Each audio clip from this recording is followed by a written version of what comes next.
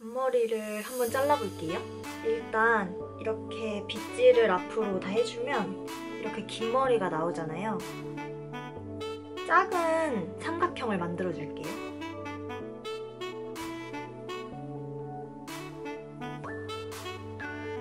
여기에 자 이렇게 작은 삼각형을 만들어줬어요. 이렇게 하는데 그루프를 말았을 때 이렇게 많이 올라가기 때문에 처음에 이 눈썹 사이에 있는 이 앞머리도 조금 길게 눈 밑에 정도 되는 길이로 잘라줄게요.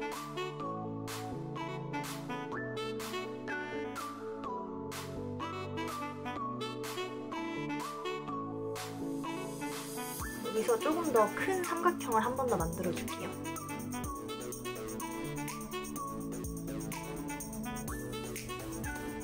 이렇게 아까보다 조금 더 큰 삼각형이 생기게 해주고 눈 코에 맞춰서 잘라줄게요.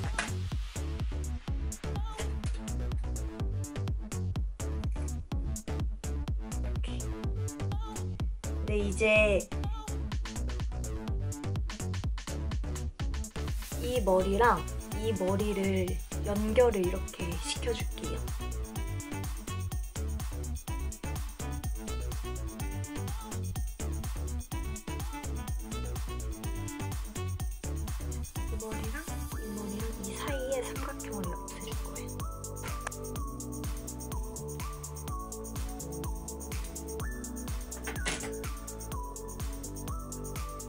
연결이 되게 해줬어요.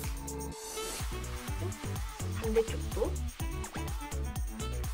반대쪽도 지금 여기 머리랑 여기 머리랑 이렇게 네모나게 코너가 생겼잖아요. 이 부분을 이렇게 이렇게 잘라줄 거예요. 이렇게 연결되게 잘라줄게요.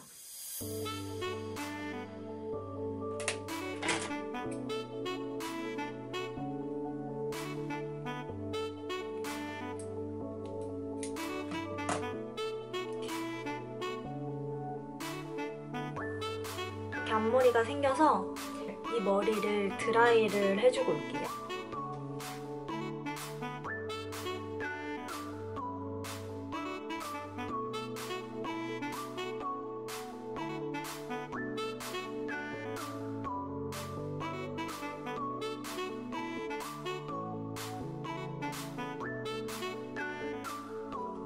이렇게 드라이를 해주니까 뾰족뾰족하게 튀어나온 머리들이 있잖아요.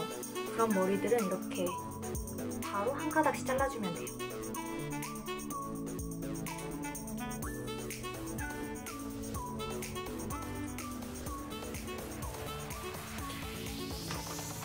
앞머리 자르는 방법은 이렇게만 하면 끝이. 엄청 쉽죠? 이렇게 하면 셀프 앞머리 자르는 방법이 끝이 났습니다. 안녕. 안녕.